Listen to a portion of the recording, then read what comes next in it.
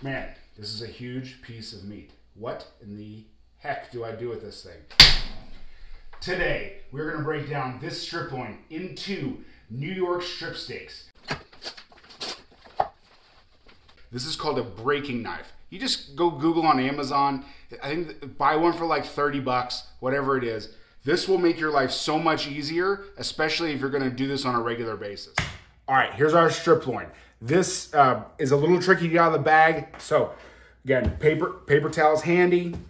You're gonna take your knife and there's two sides, okay? This is the top and the bottom. You can tell where the, all the liquid is naturally pooling, okay? It's pooling on the bottom. So we're gonna remove it from the top, trying to keep as much of the liquid on the bottom as possible. Again, we're gonna take our knife, just take a little score, a little tiny, if it's super sharp, you can just go right through that plastic and it separates pretty easy. We're not gonna go all the way down. We're not ripping it open from the bottom, okay? We want to keep as much of that liquid intact as possible. We're gonna reach in, slide it out of the bag while keeping as much of that liquid in there as possible.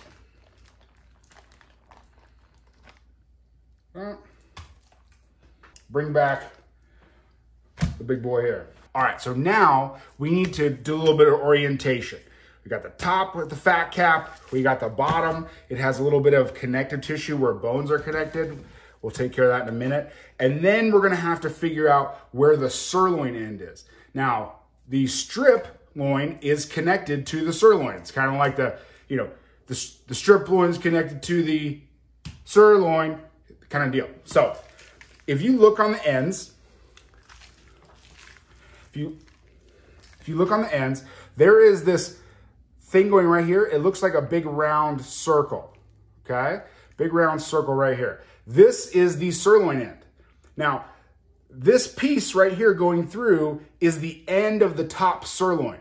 So right here goes all the way through the end of the top sirloin. So it's not really 100% strip steak. So you, when we get to that side, we're gonna talk about what we do on this side and what, how it doesn't make a very good steak if you get that big round top sirloin uh, eye in there. So we're gonna talk about what to do with it from there. All right, so we found the we found the sirloin then. So this is gonna be where our strip steaks are gonna start. Now I like to, there are two schools of thought in this butchery process. I like to start from my good end the mainly strip, the, where the strip steaks are. And I also don't pre-trim. A lot of people will pre-trim a lot of this fat cap down to a quarter inch. I like to trim each individual steak. I find it's a little easier and I can control a little better. So it's very simple. You, to just sorry, you just start cutting steaks. Okay, so first thing we have to do is this kind of trails off like this. If you can see, it kind of goes at an angle. We want to make sure that's straight. So we are going to look as hard as we can and find where the tip of that is, follow out with the top of our knife, and we're just gonna cut straight down to square off this steak. Now, just like that. Now, this is still very good. This is totally, totally usable. So we are gonna use that for another purpose. So now we're just gonna cut steaks. Now you want them to be about an inch, inch and a quarter. That's a typical, gonna be a typical like 12 or 14 ounce uh, strip. If you want them bigger, of course, you can cut them as big as you want. That is the great thing about cutting your own meat is you can cut any size that you want. See, boom, there's our strip steak. Okay, we're gonna put it over here. Once we cut them all down, I'm gonna come back and show you how to trim those up. And then when you're doing this, you're starting at the top, you're pushing the knife down and just going with little strokes here all the way down. And when you get halfway through, you're just gonna slide out the knife. And there it is. Okay. Then get halfway through, slide out the knife. Okay. See, look how pretty that looks.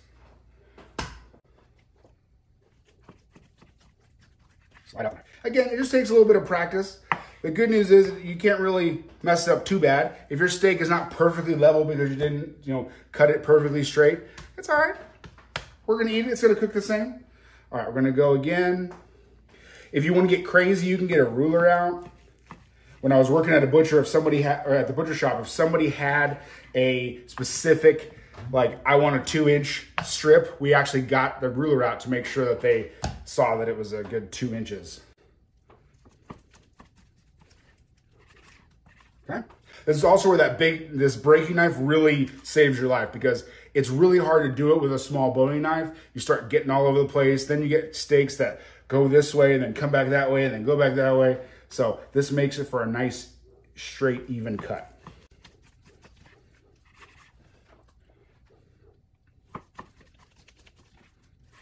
Now at this point, we're not worried about trimming any of this stuff. We're gonna come back, we're gonna trim it all.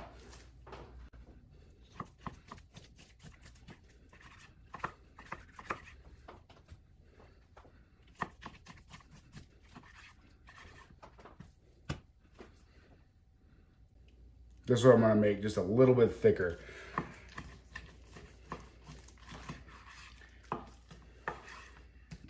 All right, so on this, this cut that I've done, you now can see the start of this vein right here.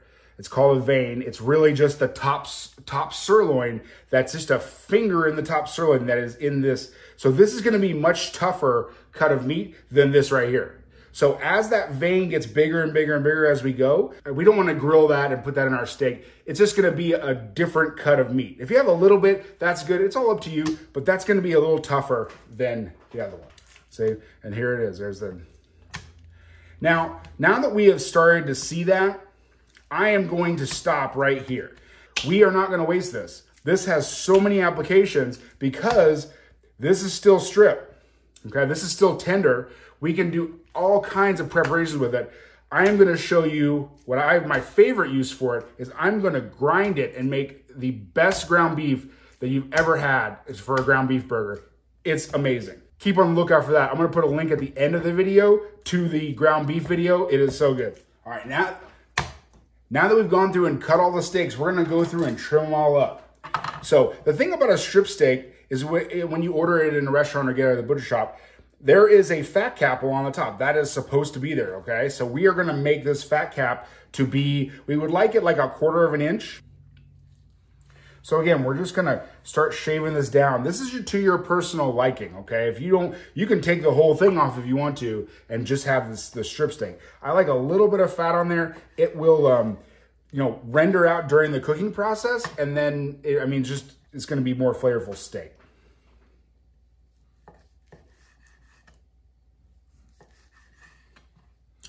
all this fat, this solid fat, is really good to put in our burgers. We can do a lot with it.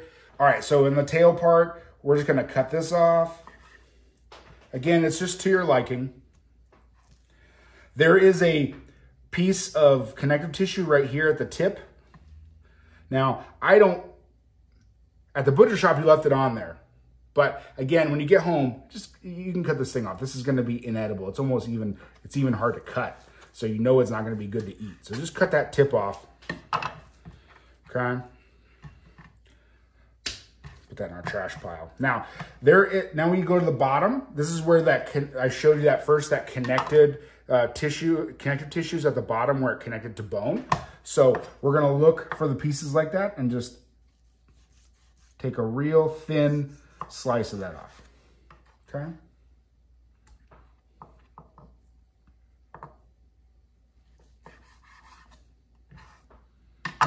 Again, very little of the strip steak gets wasted. So here's our steak, okay? Pretty looking steak. So we're gonna go through and do it to the rest of them.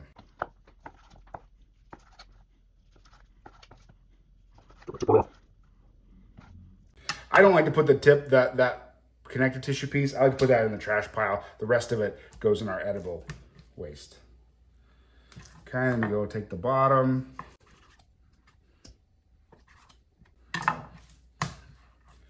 Nice looking strip steak. All right, so stay tuned to the end of the video because I'm gonna give you a quick tip on how to select a steak when you go to the butcher shop and they have them all lined out. So I'm gonna give you some tips on how to select the best strip steak. Like I said before, uh, when we had our big strip loin. On one side, it's connected to the sirloin. Okay. Well, on the other side, it's connected to the rib where we get prime rib from, we get ribeye steaks from. We have more of a traditional strip here with the fat cap. Now, this piece came from more of that middle section of the strip loin. So it is your traditional strip steak. Now, you'll see that when we get to the first part where it's closer to the rib, it looks more like a ribeye. Now look at that steak. That kind of looks like a ribeye. Before it starts to get all the intermuscular fat in the middle, this kind of looks like a ribeye. So again, it all depends on what you, this is going to be kind of more ribeye-esque. Okay. So when you're choosing one in the big, you know, either whether it's under cellophane, please don't do that, or if you go to a butcher shop and you see them all stacked up like this, fall forward, you can kind of tell the difference. This is going to eat more like a strip steak. This is going to eat a little like a ribeye, like a, a leaner ribeye. So keep that in mind when you are looking for steaks. What you definitely don't want to see, especially if you're going to like a grocery store that has it all under cellophane, you can't really get a chance to look at it outside the package, look for this eye. If you ever see this, you don't want that one. Pick a different package, pick a different steak. Like I said before, this piece right here is from the top sirloin. So you're paying a strip price per pound for this section, big section right here to be top sirloin. Now, so the bigger this is, the less valuable this steak is. You pick another one, okay? Don't, don't let the butcher, don't, don't let the grocery store or the butcher or whoever, if you see this round piece right here, that is top sirloin. Don't pay strip price for top sirloin. Look how many strip steaks we got out of that strip loin. And the great thing about doing your own butchery at home is you can make them any way you want. You can make thick ones, you can make thin ones. The possibilities are really endless. Click on the next video and you're gonna see I'm gonna make a beautiful steak au poivre. It is a classic French dish. It's gonna be a strip steak with a brandy peppercorn sauce. It's delicious.